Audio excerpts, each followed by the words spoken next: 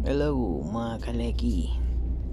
Dito sa video na to ituturo ko paano mag program ng PLC Tuturo ko din paano mag manual writing sa circuit diagram.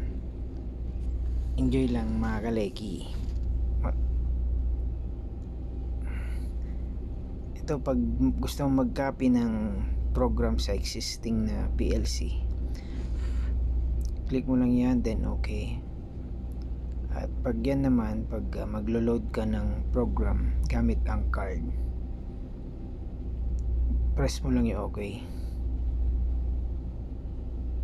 Pag gusto mo na i-clear yung program na, ng PLC, yan lang naman. Select mo lang yung clear, clear program. Tapos yes. Okay itong program pala na to is for sewage treatment plant. Yan, yan yung first output natin na input natin. Yan yan, kailangan natin ng latching relay. Yan, RS latching relay yan. Lagyan natin yung input to tapos lagay din natin basic function yan not yan not then I1 pag uh, na-select nyo na yung kung anong input yan i-press OK lang. Yan, check natin. 1 RS yan, tama. Yan na yung output 1 natin para sa blower. Check ulit natin. Yan, latching relay I2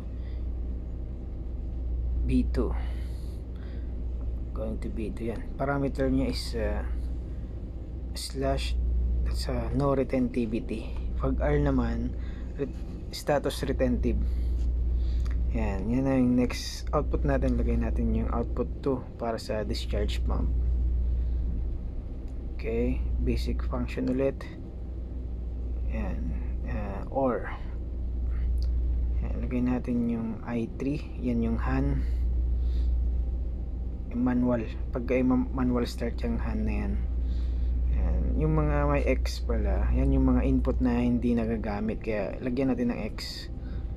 Okay yung input to yan an ulit. Yan sa mga basic function yan. Gusto nyo yung mga functions ng mga blocks na yan. Pwede nyo i-download yung logo na ah, PDF search nyo lang Siemens logo sa Google Chrome tapos download nyo yung PDF na yan. Yan pag GF yan is mga basic functions. Tapos pag uh, ah, SF naman yun yung special function. Yan I5 I5 is the auto start ng discharge pump. Yan yung level switch yan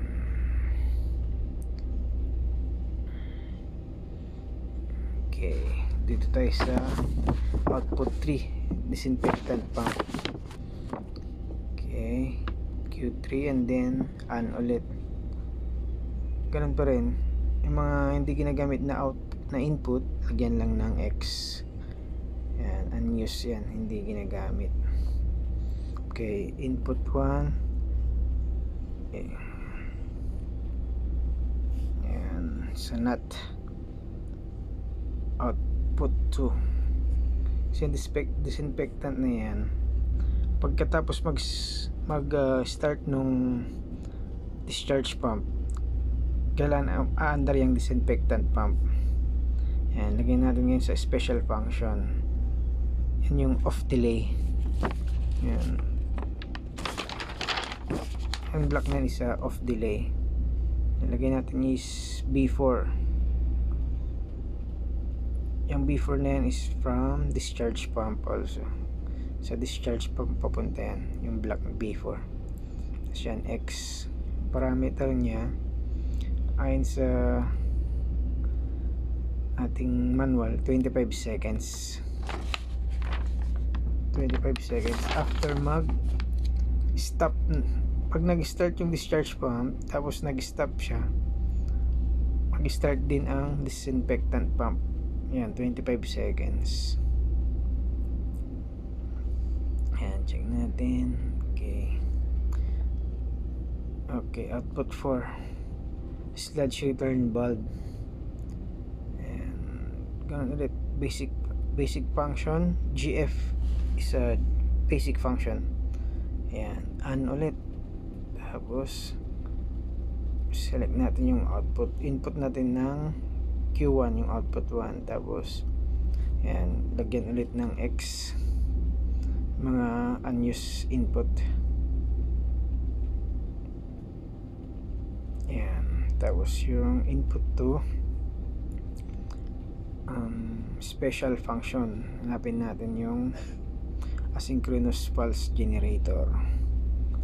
Yan ito naman sludge return bulb sa B1 and B1 B1 is the blower. Kaya pag nag start yung blower mag start din mag open din tong bulb na to. Bale ilagay natin dito 5 minutes na activation ng bulb tapos every 25 minutes yung yung off niya.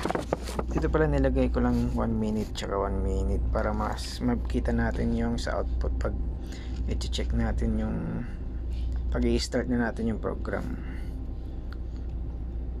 Okay lagay din natin yung name ng program na STP Sewage Treatment Plant.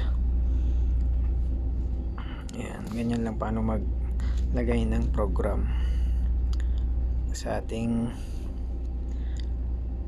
sa Siemens logo.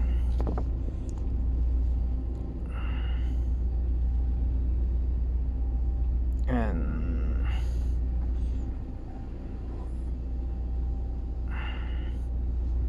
yan pala ini-install na ng ating junior ETO yung PLC natin yan nung pagkatapos nating ma-program. Yan. Okay start lang yung program and may wiring na ako dito para mag-simulate ng program natin yan. Yung Q1, Q2 yan yung blower tapos yung Q2 yung discharge pump. Tapos yung 4 yan nga yung sludge pump na kailangan tatakbo tatakbo lang dito ng 1 minute. Tapos mag stop yan.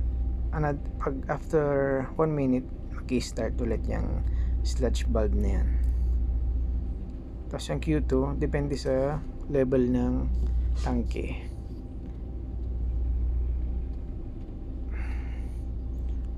Para nilagyan ko din ng wiring yan para isimulate natin na nag uh, low level na yung tangke. Para mag stop dapat mag stop yung Q2 yung output 2 tayin lang natin yung 1 minute na stop nung sludge return bulb. Ayan nag stop na siya. Ibig sabihin 1 minute na. Ayan yan ay nagsimulate ako kunwari nang nag stop na yung discharge pump. Ngayon start yung disinfectant pump. Dapat 25 seconds. Ayan. Yan lang mga kaleki kung nagustuhan nyo itong video na to, please like and click the subscribe button.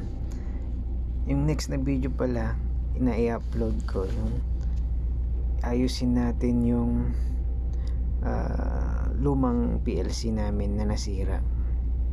Papakita ko step by step. Ayan.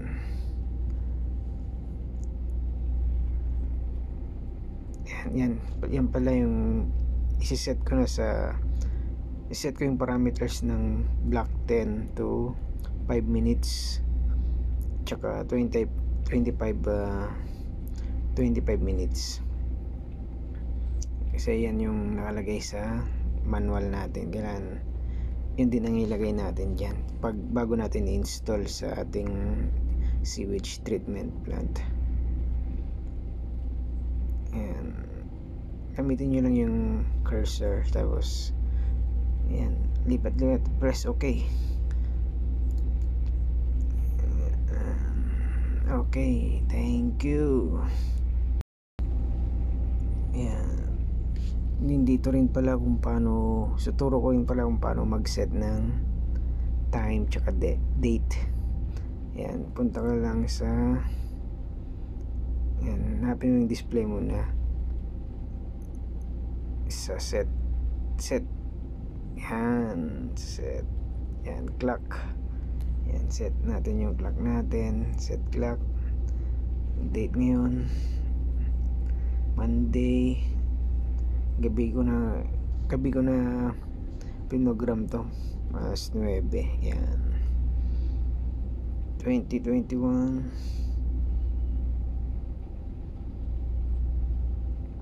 July 07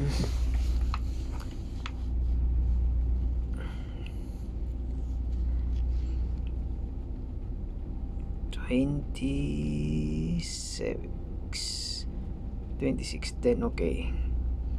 Yan. skip skip yan. Okay yan yan yung time tsaka date niya. Okay salamat ulit please don't forget to subscribe